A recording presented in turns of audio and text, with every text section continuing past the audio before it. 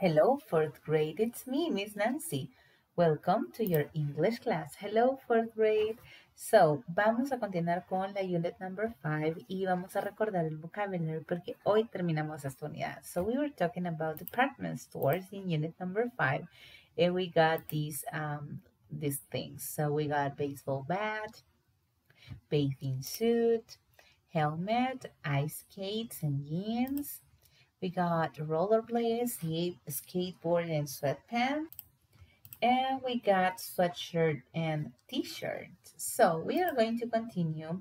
Oh, I'm sorry. Este, también vimos este es parte de elemento en la... I'm sorry.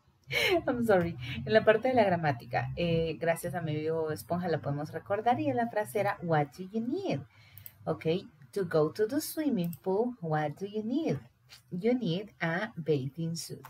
Ok, esto ya lo tienes en tu cuaderno, así que no hay necesidad.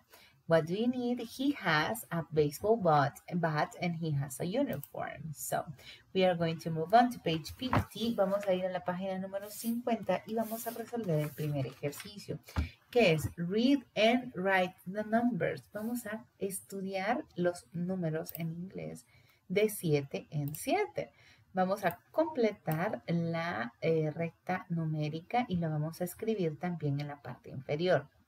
So we are going to put a 7 in here, oh, like this, y así de 7 en 7 las vamos a ir rellenando. Como esto está super easy peasy, te voy a colocar the working song. Intenta rellenar la mayor cantidad posible en lo que suena la working song y luego te muestro the right answers. Okay, let's do this.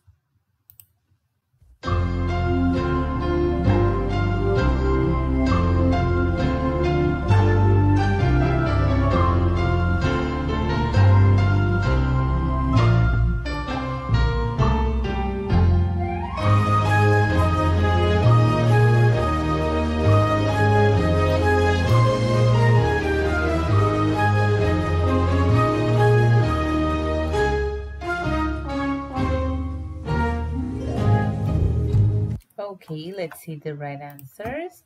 Aquí tienes 7, 14, 21, 28, 35, 30, I'm sorry, 42, 40, 48, 56, 64, 72, 80, 90, 81, 72, 63, 60, I'm sorry, 54, and 45.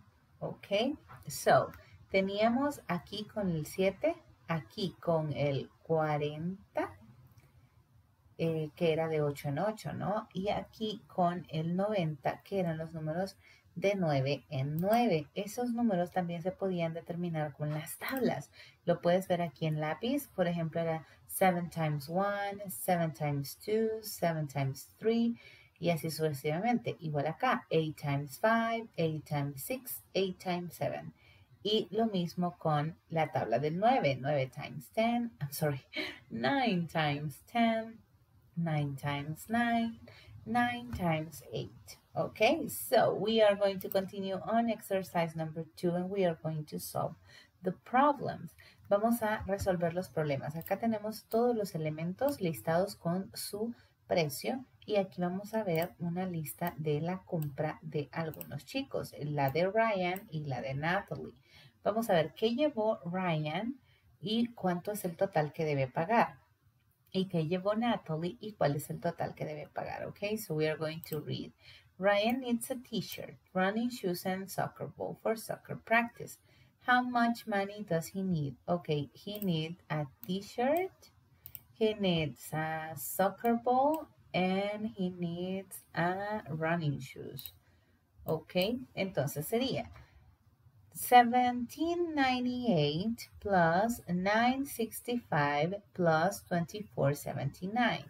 Ok, esto es lo que tenemos que poner para saber cuál es la respuesta correcta. Y vamos a hacer la sumatoria. Ok, we are going to do this 1798 plus 665 plus 2479. eh, la respuesta correcta es 49.42. Esta es la cantidad de dinero que Ryan necesita para comprar todos los implementos que le han pedido. ok, so we are going to see it. Ok, esta sumatoria que te acabo de mostrar en pantalla la vas a copiar aquí con su total. Y vamos a escribir Ryan needs y el precio final que descubrimos que era 49.42. Ahora vamos a ver el siguiente ejercicio con Natalie. Natalie needs a bathing suit and a towel for swimming class. How much money does she need? Ok, tenemos el bathing suit que aquí no se ve porque se me cortó en la imagen, pero su precio es 13.49, 13.49, tú lo puedes ver en tu libro. Y el, de las toallas es 8.55. Ok, esto es, oh, sorry, lo que tenemos que poner y aquí vamos a hacer la sumatoria. So, 13.49 plus 8.55, it's 22.04. Ok, esta es la respuesta correcta que vamos a colocar en el ejercicio. Y aquí está el ejercicio, así que vamos a escribir aquí 1349 plus 855 y la respuesta que era 2204. Natalie needs 2204, ¿ok? Super easy Vamos a pegar un saltito de la página 50 a la página 52. I'm sorry, pero antes te voy a colocar The Working Song y luego te muestro las respuestas correctas.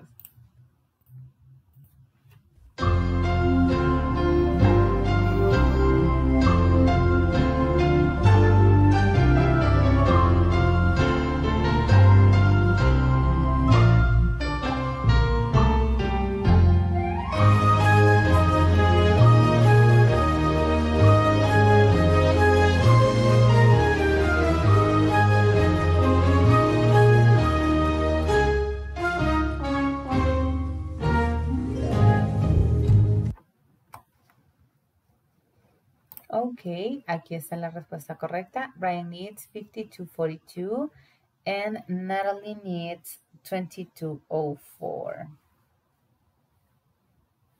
Ok. Oh. So, ahora sí vamos a pegar un saltito. No vamos a hacer esta página, sino la siguiente que es página 52. We are going to match the sports equipment with the sports. Ok. vamos a unir los elementos de los deportes con cada imagen correcta. Tenemos a bathing suit, a baseball bat, a skateboard, ice skates and rollerblades.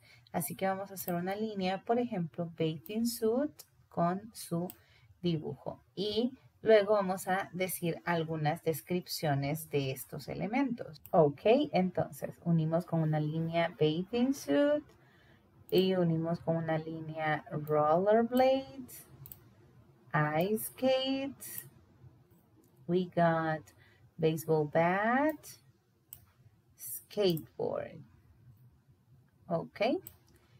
Y ahora vamos a describir algunos de los elementos. Por ejemplo, en el dibujo de la niña, she has a green bathing suit. Ok, vamos ahora con los ice skates. Estos ice skates. Y vamos a decir de qué color son los ice skates. He has white ice skates. Luego el number three, vamos a continuar con el baseball bat aquí. Y vamos a decir, he has a brown baseball bat and a black helmet. Okay. So number four, he has black rollerblades and a gray helmet. Okay. Black rollerblades and a gray helmet. Y por último, vamos a decir, he has a black skateboard, porque el skateboard es black. Te voy a dejar, oh, te voy a dejar the working song, luego vemos las respuestas correctas, ¿ok?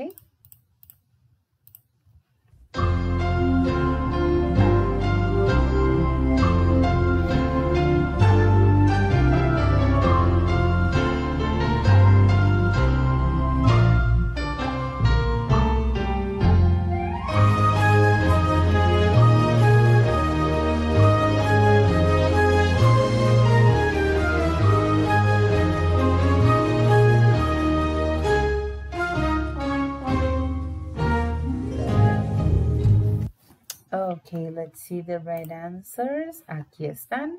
Como ya lo decíamos, he has white skates. He has a brown baseball bat and black helmet. He has black rollerblades and a gray helmet.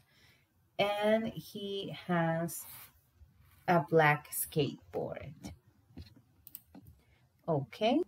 Ok chicos, la próxima semana son semana de exámenes, por lo que tenemos que hacer el cuestionario esta semana. Así que se los voy a dejar linkado en la plataforma de Google Classroom para que lo puedan resolver. Como todos los años, el cuestionario, perdón, como todo este tiempo atrás, el cuestionario es interactivo, así que hasta que nos saquemos 10 sobre 10, enviamos la captura de pantalla a la plataforma. Ya lo conocen, vamos a rellenar nuestro nombre, unir con una línea con cada nombre correcto del vocabulary. Este es el que acabamos de hacer.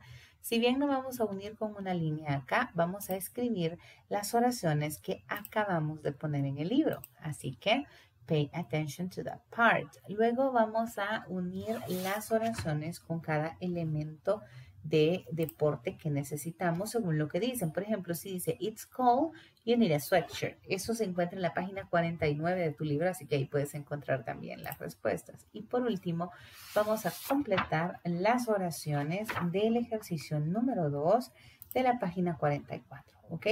What is said is looking at a blue. The father has a green. Esos son todos los elementos que se encuentran en esta imagen. ¿Ok? So, super easy peasy. Luego, cuando hayamos terminado, damos clic en terminado.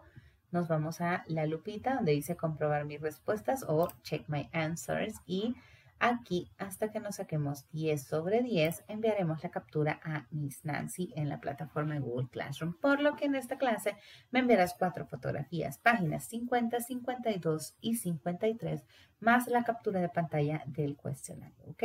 ¿Por qué es importante sacarse 10 sobre 10 en el cuestionario? Porque así estudiamos para el examen y si nos sacamos 10 en el cuestionario, nos sacamos 10 en el examen. So, Please, cuatro fotografías, páginas 50, 52, 53 y la del vocabulary. So, fourth grade, the class has finished. We are going to see each other next class. Bye.